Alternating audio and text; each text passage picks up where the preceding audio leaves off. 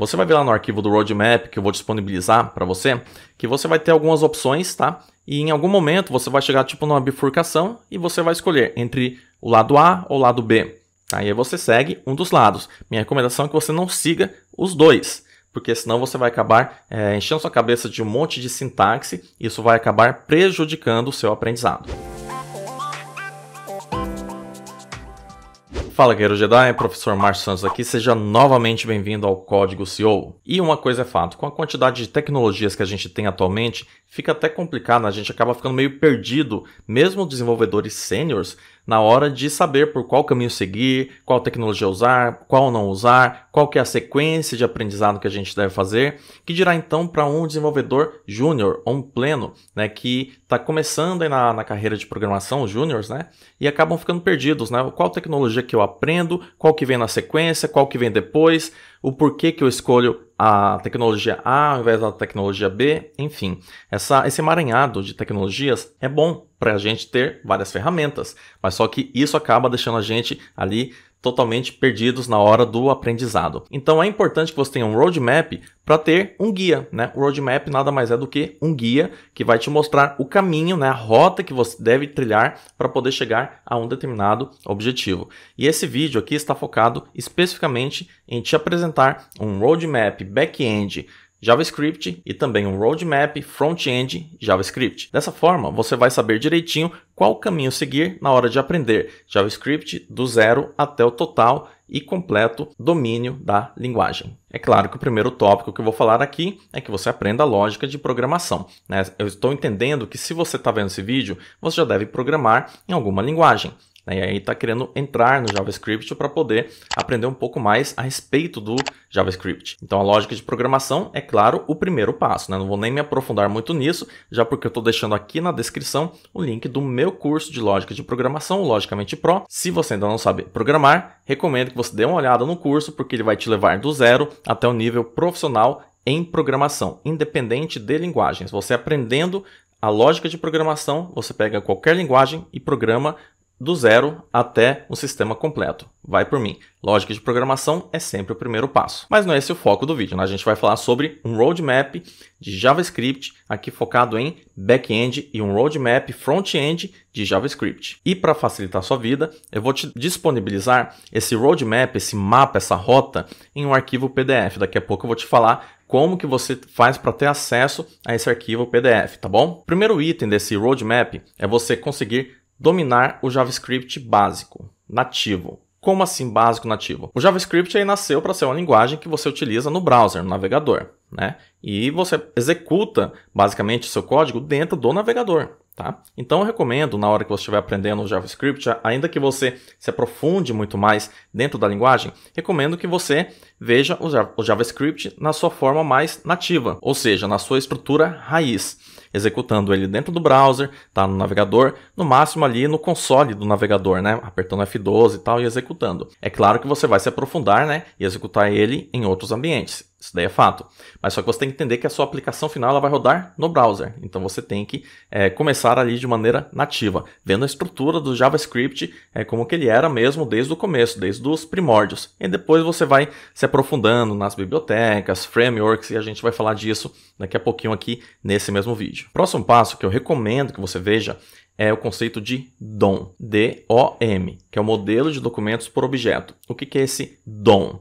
É, todo site, né, toda estrutura web, ela segue uma certa é, árvore, uma sequência de informações. Por exemplo, você tem lá no site um doctype, em seguida você tem um HTML, né, os blocos de HTML, tem os blocos de body, né, e dentro do body tem várias tags, uma delas pode ser a tag P de parágrafo, e aí você tem que entender essa hierarquia, saber que, por exemplo, o parágrafo ele está submisso ao body, o body está submisso ao HTML, o HTML está submisso à hierarquia de um doctype específico, né? no caso a gente está no HTML5, então seria um doctype de HTML5. Você tem que conhecer muito bem essa hierarquia, porque isso vai influenciar diretamente na hora que você for manipular elementos da sua página HTML e até mesmo partes do CSS, tá? Através do JavaScript. Então, se você não detém o conhecimento sobre árvore DOM, você possivelmente vai ter dificuldades em interagir o seu JavaScript com elementos DOM dessa página. E o próximo item desse roadmap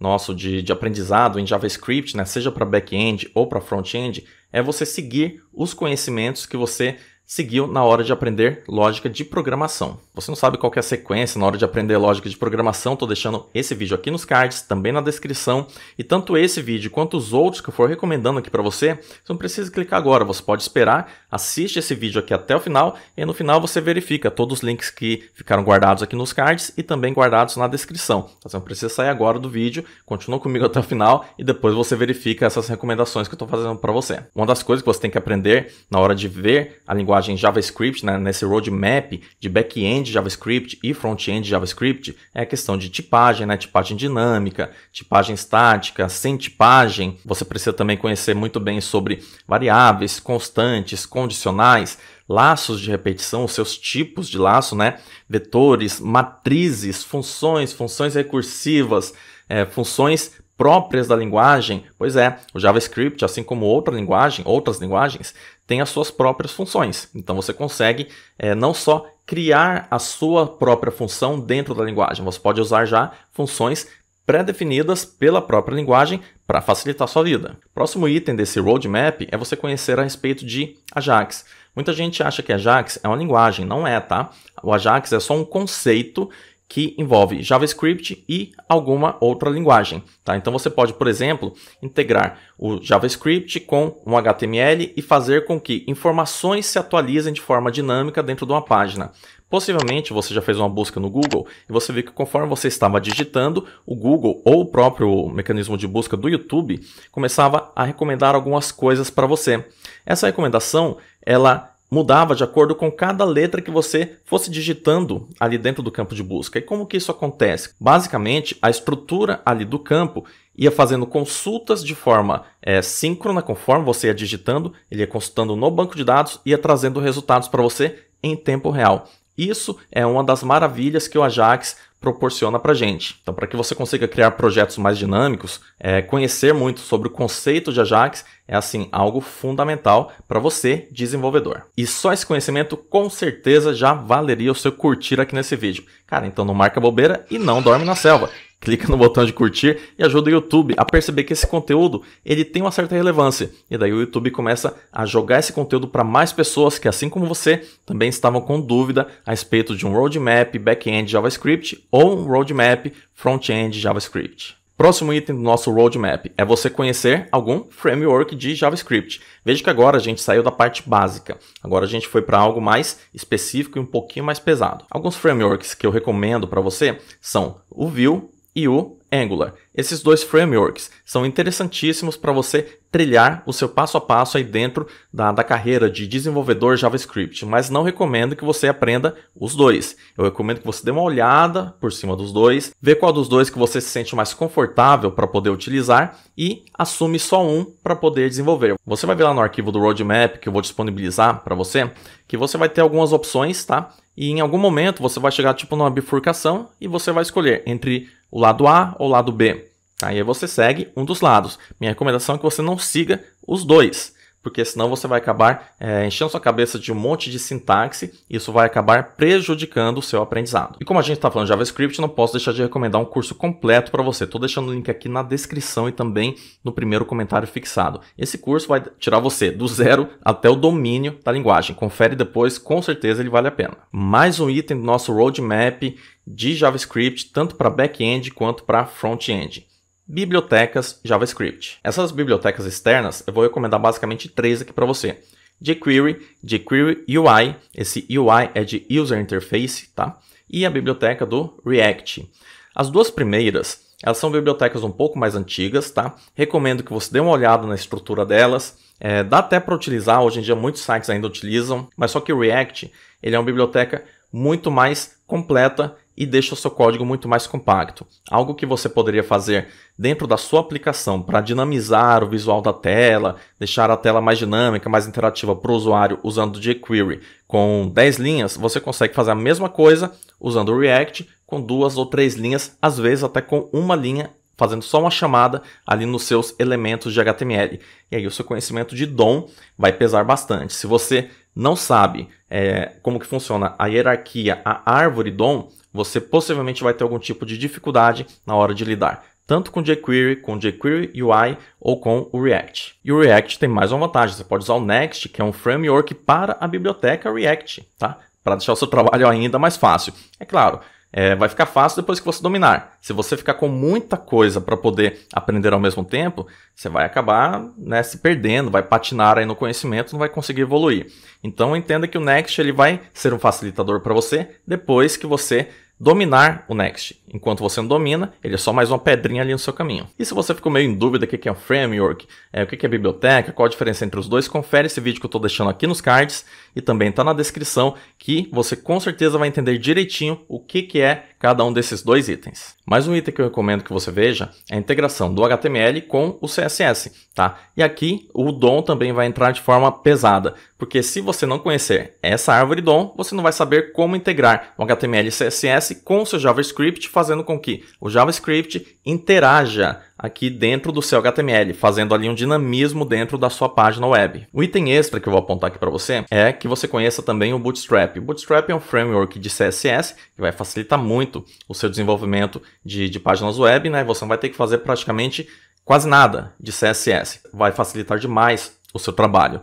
E embora CSS e HTML não sejam linguagens de programação, é interessante que você entenda um pouco a respeito do assunto para que você seja um programador mais completo. Né? Senão você vai só fazer a parte do código e vai ficar na dependência de alguém que faça toda a estruturação do HTML e CSS para você. E se você se surpreendeu quando eu falei que HTML não é linguagem de programação, confere esse vídeo que eu estou deixando nos cards, também na descrição, você vai entender direitinho o que eu estou querendo dizer. Maravilha, agora a gente vai falar um pouquinho do roadmap back-end JavaScript, tá? Mas se você está gostando desse conteúdo até aqui, cara, não marca bobeira e não dorme na selva. Se inscreve aqui no canal, porque só assim você garante que você vai receber as notificações notificações quando eu postar conteúdos nessa mesma pegada futuramente. Se inscreve aí e ativa o sininho das notificações. Não vou explorar em detalhes aqui o que é um back-end, um front-end, um full stack, porque eu já falei bastante detalhes a respeito disso nesses vídeos que estão aparecendo aqui no, nos cards, também aqui na descrição. Daqui a pouco você dá uma conferida para entender direitinho o que é cada um desses segmentos, tá bom? Então, indo na linha ali de back-end,